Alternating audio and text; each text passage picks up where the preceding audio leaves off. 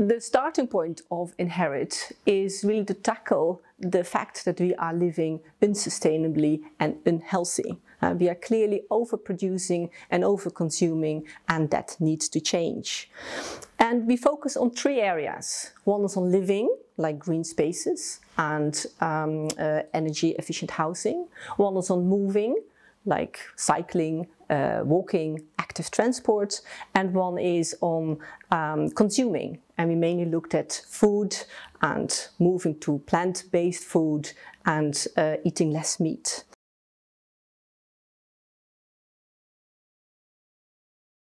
We used the behavior change wheel of Professor Susan Michie that helps us to understand three critical conditions that we need to take into account when we want to change behavior. It is that people need to have the opportunity to change, the motivation to change, and the capability to change. And we integrated this behavior change wheel in an Inherit model, our scientific model led by Professor George Morris. That we, and we used uh, this model to see how the lifestyles impact on the drivers of climate change and how they provide pressures on the environment and how that then impact health and health equalities. And during the course, you will learn about this model and how you can apply it to think through uh, in integrated ways and to think through our triple win.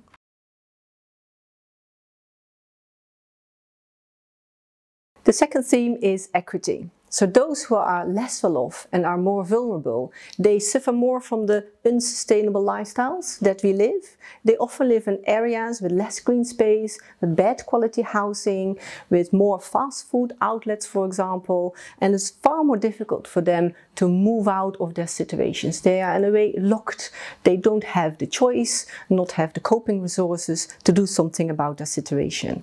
In addition, they also often benefit less from the climate change mitigation measures that we are taking, which even increases inequalities and, let, and, and leads to more social unrest, for example, which we see with these yellow vest movements.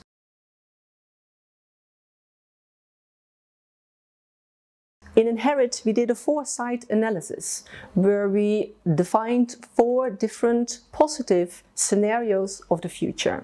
You will learn in this course how these four scenarios will look like. Um, we tested these scenarios with citizens in citizen focus groups uh, in five countries. We actually talked with 118 people from different socioeconomic backgrounds and we also uh, checked the preferences for the futures uh, with um, uh, uh 10,000, over 10,000 uh, citizens through a household survey. And the outcomes is that people actually they they see the need and they understand but they are a bit reluctant to change. They would not really want to give up to eat meat for example. And people also are a bit more fearful of the technological developments.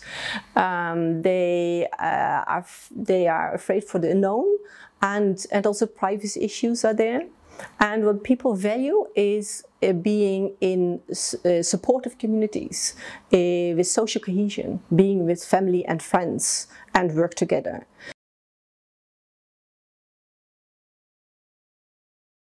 So what kind of initiatives are already happening in Europe? We collected over 100 promising practices um, that can address people's behavior and lifestyles so that it's better for the health and for the environment. And we uh, collected them all in a database that you will also learn about uh, during the course. And we selected 15 of them where we did an evaluation. We looked into how the, the good practices came about, like process evaluation, qualitative evaluation, but also impact evaluation and uh, cost effectiveness evaluation.